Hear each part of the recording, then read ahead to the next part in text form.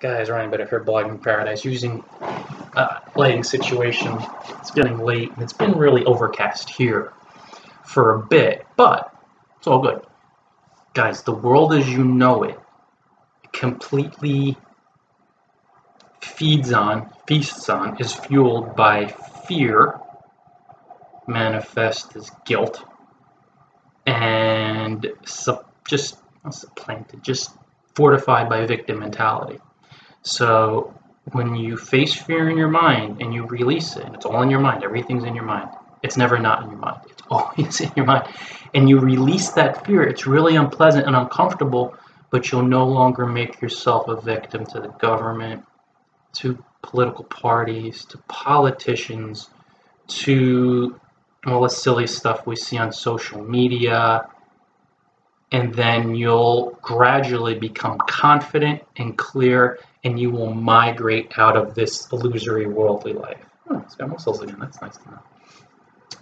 If you don't face your fears in your mind, you will see yourself as a victim, and you seeing yourself as a victim will become the prey, P R E Y, of government, politicians, movements, words, like somebody could say a word to you and you'll see yourself as so much of a victim in your mind because of the fear in your mind that it will hurt you.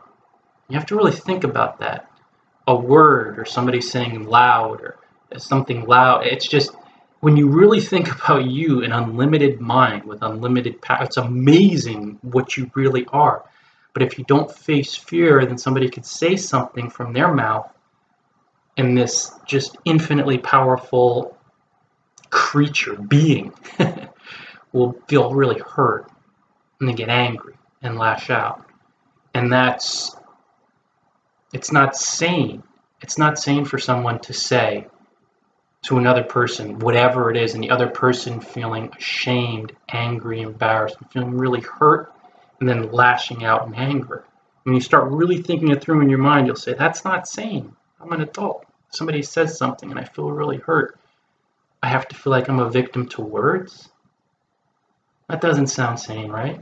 Doesn't sound like you're confident and you're thinking clearly.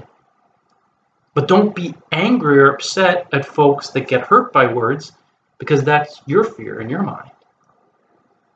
It's uncomfortable. You got to get deeper. But the more you get into your fears, you're going to understand, and they're only in your mind because you see the world based on what's in your mind.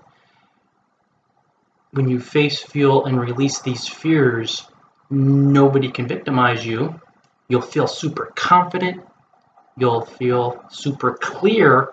And no matter what's going on in that just silly worldly life built on fear, guilt, victim mentality, again, you'll migrate out of it into loving circles, peaceful circles, prospering circles, and you'll see what's going on there and the illusion of it, because fear is an illusion, it's not real.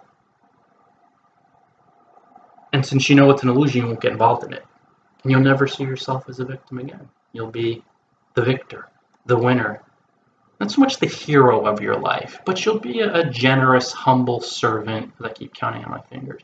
And you'll just love the journey. You'll be truly helpful, which is the highest form of love and happiness. And then, yeah, if you want the worldly success, that'll follow too.